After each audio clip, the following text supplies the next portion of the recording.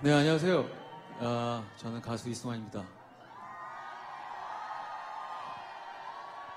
네, 아, 제 순서에 그 다른 어, 소리로 방해받고 싶지 않아서 어, 사실 처음에 가만히 있으라는 그 세월호 추모곡을 준비했다가 아, 조금 드럼이 나오는 곡을 해야겠다.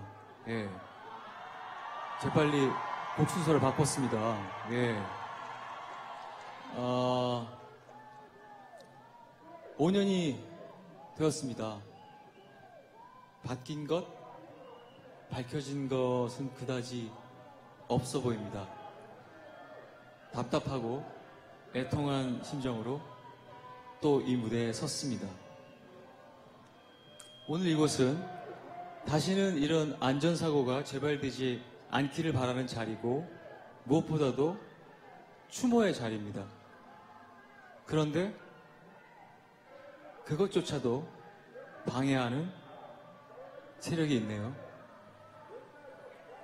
참 못됐고 못났습니다.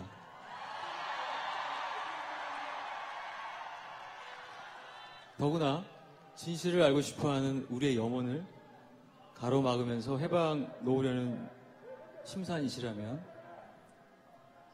그것은 어, 못됐고 못났음을 넘어 추악하다고 하지 않을 수 없을 것 같습니다.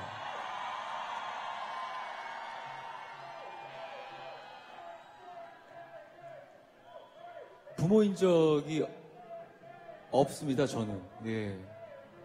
부모인 적이 없었던 저도 아직까지 이렇게 분하고 아픈데 이런 추모의 자리마저 방해하는 자들은 누군가의 부모라 말할 자격이 없는 것 같고 누군가의 이웃이길 포기한 사람들 같습니다. 그들을 사주한 누군가 아니면 혹은 자발적으로 참여했다고 말하는 아, 그들이 떳떳하다면 이런 분열적 시도를 할 리가 없다고 생각합니다. 게다가 세월호가 지겹다니요. 저는 당신들이 징글징글합니다. 창피한 줄 아십시오. 아, 그래요.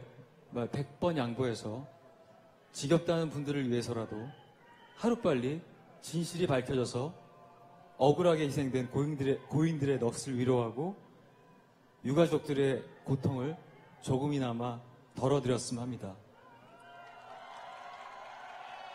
그리고 책임져야 할 사람들이 응분의 대가를 받아서 이 땅에 정의가 살아있음을 확인하고 싶습니다. 다시 한번 삼가 고인들의 명복을 빕니다. 그리고 오늘 이 자리에서 많이 와주신 여러분들, 유가족 여러분들, 어, 이 장면을 시청하고 계시는 분들 계신다면 제 노래가 자그마한 위로가 됐으면 하는 바람입니다. 가만히 있으라 하겠습니다.